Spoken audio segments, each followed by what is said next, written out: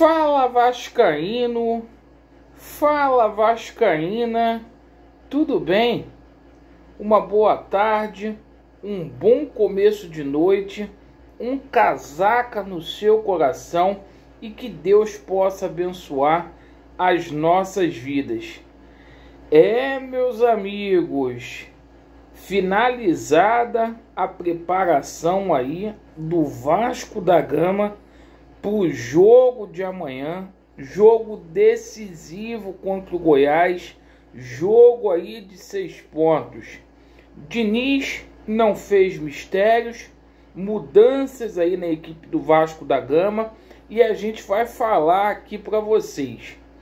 O seguinte, situação do retorno aí do público, segundo jogo com público em São Januário no ano vamos dizer para vocês aqui como que vocês podem fazer para resgatar os ingressos de vocês.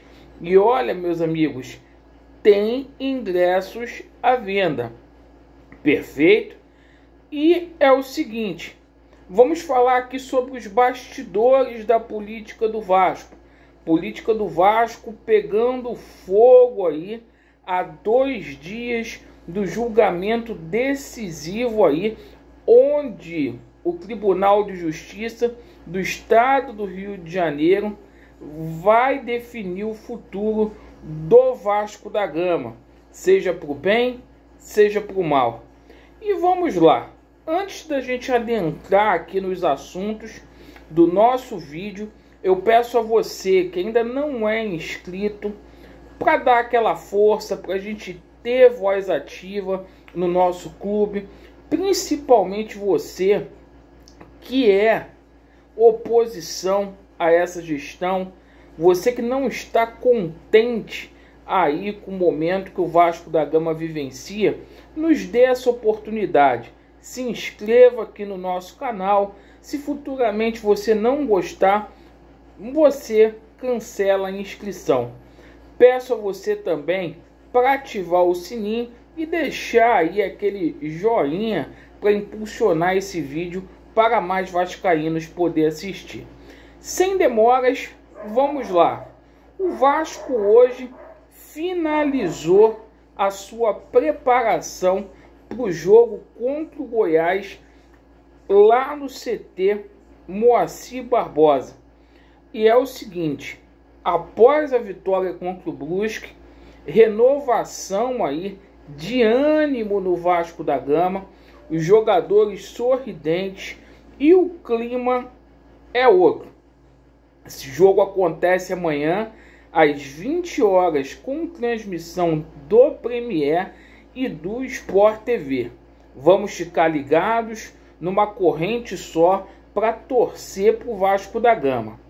Amigos, o Vasco da Gama voltou para a competição com os resultados de ontem, o Náutico perdeu ponto, CRB perdeu ponto, Guarani perdeu ponto, inclusive o nosso adversário de amanhã, o Goiás, perdeu aí, foi uma derrota surpreendente por Vila Nova, colocou o Vasco da Gama aí na sétima colocação e aquela distância de 10 pontos já caiu para 7. E é o seguinte, o nosso adversário de amanhã possui aí 45 pontos na competição. O Vasco está ali com 37. Definitivamente, categoricamente, eu afirmo aqui: Vasco vencendo a equipe do Goiás amanhã fica vivo nessa competição. Perfeito? E é o seguinte, só depende de nós torcedores do Vasco da Gama é o seguinte: o Diniz aí vai fazer modificações na equipe do Vasco da Gama, perfeito. Andrei e Léo Jabá retornam à equipe vascaína. O Andrei assume aí o lugar na condição de titular no lugar do Bruno Gomes e o Léo Jabá volta aí no lugar do Gabriel Peck. Perfeito? A gente vai ter o desfalque aí do Léo Matos. Léo Matos foi expulso. Ou seja, o Zeca vai para a direita, perfeito? E aí existem duas opções: ou a entrada do Riquelme lá do lado esquerdo, ou Diniz pode manter o que ele fez no jogo contra o Brusque, colocar o Valber e jogar o nosso Ricardo Graça lá para a lateral esquerda. Até que funcionou muito bem na partida contra o Brusque. Provável escalação do Vasco não vai fugir disso, com certeza. É Vanderlei, Zeca, Castan, Valber, Riquelme, Graça, Andrei, Marquinhos Gabriel, Nenê, Morato, Cano e Jabá. Perfeito? E meus amigos, 3 mil ingressos já foram retirados. Pessoal, não deixa para retirar em cima da hora. Quem puder fazer essa situação ainda hoje, faça. Você também pode retirar o seu ingresso na Gigante da Colina, nas lojas credenciadas aí do Vasco da Gama. Perfeito? Então é o seguinte, fiquem atentos aí. São 7.700 ingressos postos aí à venda e tem muito ingresso ainda para o torcedor vascaíno comprar. Perfeito? E os bastidores aí da política do Vasco, hein, meus amigos? Pegando fogo, pegando muito fogo.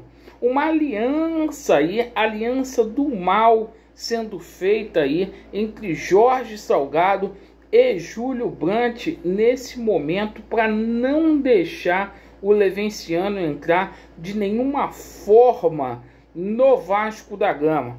Mas é o seguinte, contra o mal está o bem. E o torcedor do Vasco, na sua grande maioria, é do bem. Eu e muitos estamos apoiando o Levenciano, acreditamos fortemente aí no Tribunal de Justiça do Estado do Rio de Janeiro. Acreditamos aí que o Levenciano já no dia 28 terá condições aí efetivas para ser o novo presidente do Vasco. E não adianta esse pessoal arquitetar golpe no Conselho Deliberativo. O tempo de Jorge Salgado no Vasco da Gama se foi. O tempo de Júlio Brandt no Vasco já foi.